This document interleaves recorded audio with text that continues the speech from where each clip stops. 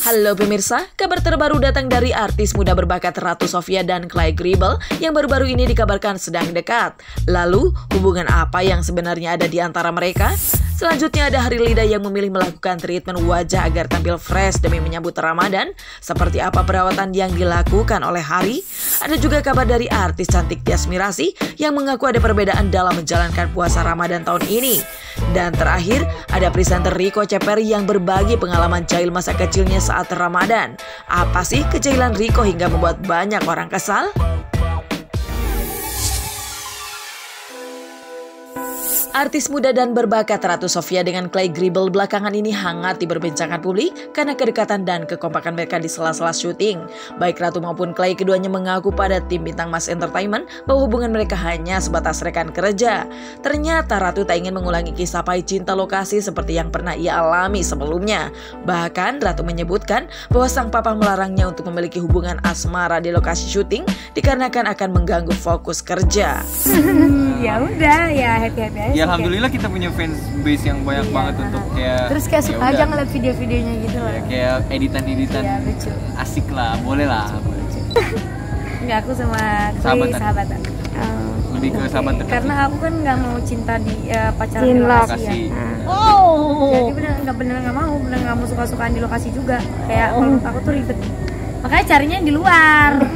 Susah sih kalau menurut aku, aku setelah yang kemarin tuh aku kayak males sebenarnya semua cowok itu nggak sama ya. Cuman kayak aku tuh emang papa aku tuh ngarang aku buat pacaran di lokasi pacaran sama, sama di loka, anak lokasi. Kayak lebih baik karena banyak banyak apa ya banyak minusnya sih kalau menurut aku banyak negatifnya. Kayak okay. pasti nggak fokus nanti kalau berantem juga nggak nggak seru kan bla bla bla gitu. Uh. jadi kalaupun memang mau pacaran di luar lokasi aja. karena aku lebih penting ke sahabat. Jadi iya, jadi kalau misalnya banyak istilahnya kan ya, kita kalau pacaran ada masalah ini putus tiba-tiba. Musuhan ya gak sih? Iya. Pacaran putus musuhan kan soalnya kalau putus pasti agak ada ada musuhan lah. Kalau sahabatan kan bisa kayak saling saling mengerti satu sama lain. ya rata-rata gitu sih. Apalagi anak-anak umuran kayak kita gini kayak pasti putus diem-dieman dulu. Kan ya. enak kita satu lokasi. Berarti lebih seruan kita sahabatan aja dong kalau ujung-ujungnya malah kayak gitu. Tergantung dari orangnya juga sih. Ya, maksudnya di sini untuk kerja buat cari duit atau dari cinta. Ratu dan Clay menjelaskan bahwa hubungan di antara mereka hanya sebatas sahabat. Diakui kedekatan mereka demi membangun chemistry, lebih enjoy di lokasi syuting dan membantu meningkatkan kemampuan acting mereka. Jadi kalau misalnya kita sahabatan kayak gini kan chemistry ngalir oh, iya, aku. Kayak lebih enjoy. Saya, jujur sih, selama 16 tahun saya hidup di sini belum pernah oh. yang namanya. Tak sampai di situ, Ratu juga membongkar sifat Clay yang saat ini tengah menyukai seseorang dengan diam-diam. Meskipun begitu, Clay mengaku hanya sekedar kagum terhadap perempuan itu. Lebih lanjut lagi, Clay juga membeberkan sosok Ratu di matanya sebagai wanita yang cantik, seru, asik, sopan, tapi bawel. Jujur sih aku nggak pernah yang namanya cinlok juga. Suka dong, suka dalam diam. Kalau suka memang ada, ada rasa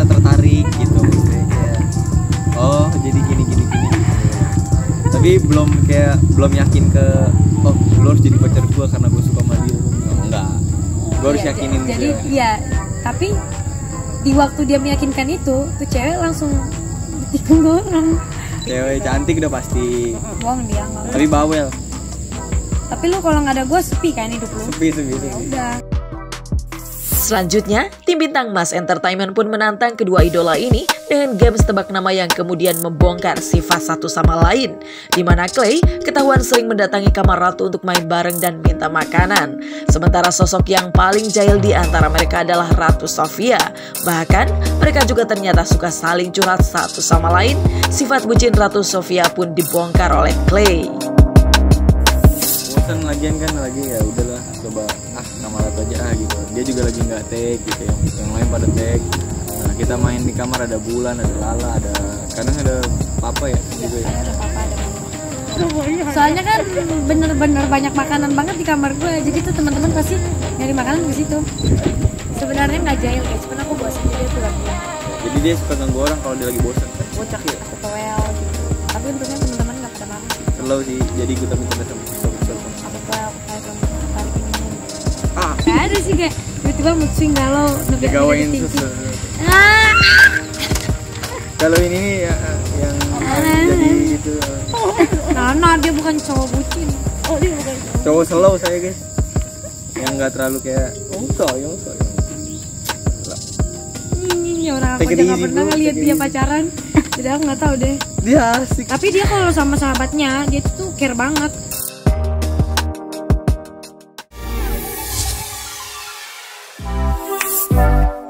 yang tak ingin memiliki kulit wajah sehat dan menarik? Hal ini berlaku baik bagi kaum wanita maupun pria. Demi mendapatkan wajah yang ideal segala cara pun dia tempuh. Salah satunya yang paling diminati adalah dengan melakukan treatment wajah. Itulah hal yang dipilih oleh salah satu penyanyi jebolan ajang bernyanyi Hari Lida. Sebagai penyanyi, rupanya Hari tak hanya menjaga suaranya tetap merdu, namun juga perlu menjaga penampilan wajahnya. Karena bagi Hari, wajah menjadi bagian tubuh yang pertama kali dilihat oleh orang lain sehingga perlu diperlukan perawatan agar tetap menarik. Tim Bintang Mas Entertainment kali ini berkesempatan mengikuti kegiatan penyanyi dangdut kelahiran 1997 ini di luar panggung. Hari melakukan treatment wajahnya dengan beberapa tahapan. Selain itu, baginya penampilan wajah yang glowing juga diperlukan demi menyambut bulan suci Ramadan dan juga Lebaran. Menurut Hari, penting untuk menjaga wajah agar tetap sehat dan juga fresh. Aku lagi ini apa namanya?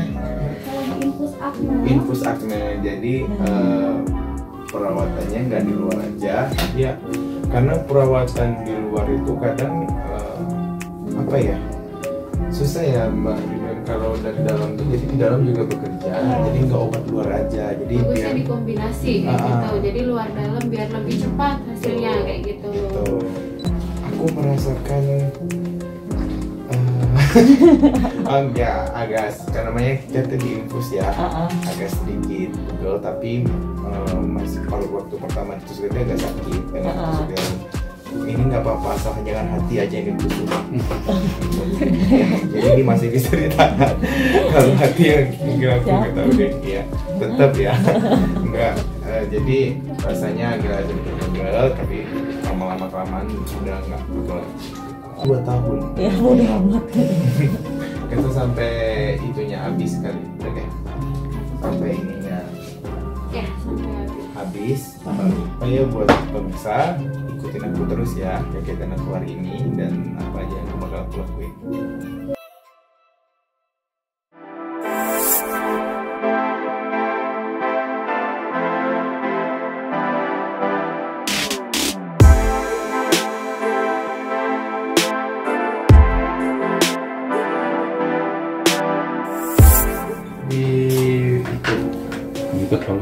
facial. Oh, facial. Mengangkat kulit mati dan kenangan-kenangan yang ada di muka.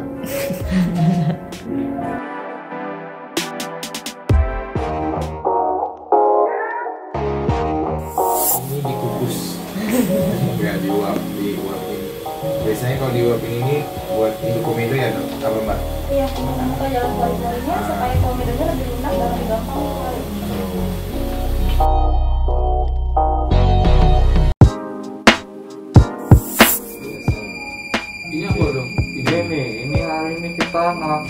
Treatment laser. Jadi laser ini adalah laser gelombang diode ini adalah laser gelombang pendek. Fungsinya apa sih?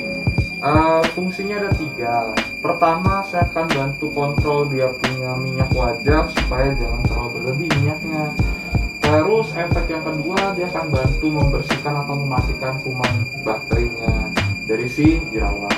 Nah efek tiga nih yang paling orang suka bikin kulitnya tampak lebih cerah lebih glowing jadi dia nggak apa ya kita bilangnya cerahnya natural lah. Wajahnya kayak kelihatan lebih bersih lagi. Ini aman banget kok. Buat ibu hamil juga boleh ibu menyusui boleh. Karena dia tertargetkan cuma di bagian kulit wajahnya aja. Itu berapa lama prosesnya? Prosesnya sih kurang lebih 15 sampai 30 menit. Tergantung dari kondisi dan seberapa banyak minyak wajahnya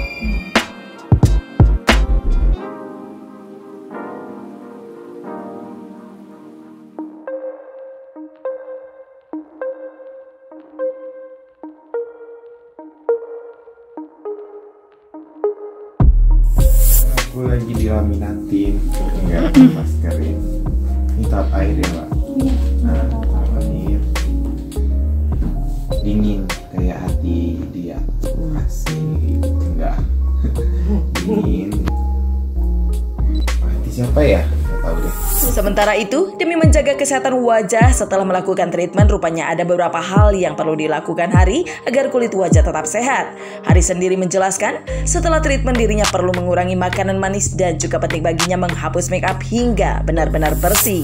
tolong harus dong karena kita kan nyambut lebaran gitu emang semuanya kadang baju baru. Jadi baju baju jangan baju aja yang baru wajah juga harus baru gitu. Jadi harus fresh harus glowing kata orang sekarang mah harus total semuanya. Sebenarnya sih bukan buat lebaran aja tapi Iya. emang buat penampilan jaga penampilan karena hari kan sering tampil di TV sering dilihat orang. Jadi nggak nggak enak banget kalau dilihat muka kita tuh agak kurang. Apalagi muka paling pertama tuh dilihat orang tuh muka. Jadi tuh sebisa mungkin muka harus juga dijaga. Gitu sih. Gitu-gitu udah nggak boleh berarti? uh, bersih. Cara makeup habis makeup kan nah, bersih makeup tuh emang harus benar-benar bersih supaya nggak nempel di kulit gitu. Iya ada nggak? Kalau treatment ini katanya tadi dua minggu sekali Oh. bagusnya karena uh, facial lebih facial dibersihin. Karena kan kita nggak tahu kadang sehari ini kita makeup besok kita makeup terus kita makeup lagi kita nggak tahu nggak ada kalau ada. treatment pasti udah enak ringan ya udah mau tinggal nunggu hasilnya lagi beberapa hari lagi apa beberapa minggu ya hasilnya mudahan bagus tapi sudah dilihat air ini agak matahari agak lumayan dari yang kemarin-kemarin ya itu tadi makanan yang manis kayak coklat tapi tadi tadi tanya mbaknya yang manis-manis tapi kalau orangnya manis gimana mbak gitu gitu ini mbaknya ketawa Kis hari udah selesai treatment terima kasih banyak sudah ngikutin kegiatan hari-hari ini Semoga sekalian kalau sehat semuanya, tetap jaga kesehatan, patuhi protokol kesehatan yang sudah diterapkan oleh pemerintah. Terima kasih. Oke. Bye-bye.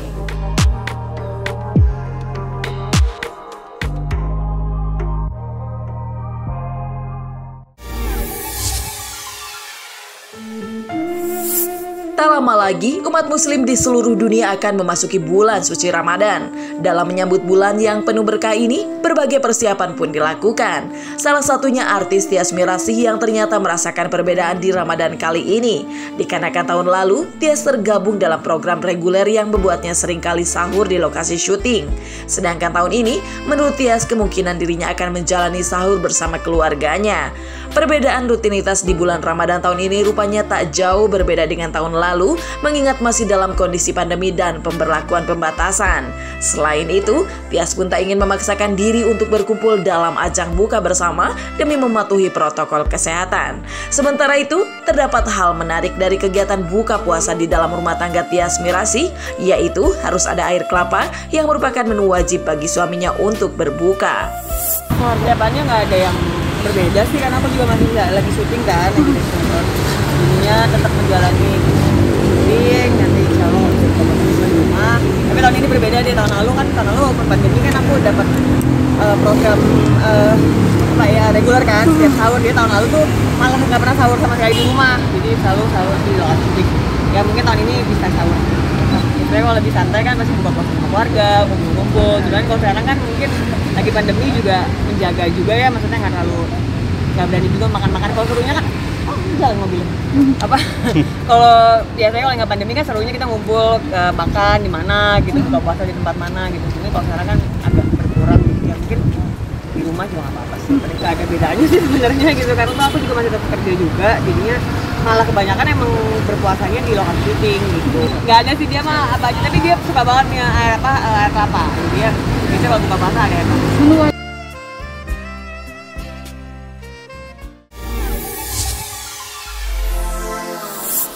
Presenter Rico Ceper ternyata antusias dalam menunggu bulan suci Ramadan tahun ini. Meskipun masih dalam kondisi pandemi, Rico mengaku sudah terbiasa asalkan tetap mementingkan kesehatan. Harapan dan doa untuk lebih baik dalam segala hal pun ia panjatkan menjelang bulan puasa yang tinggal menghitung hari.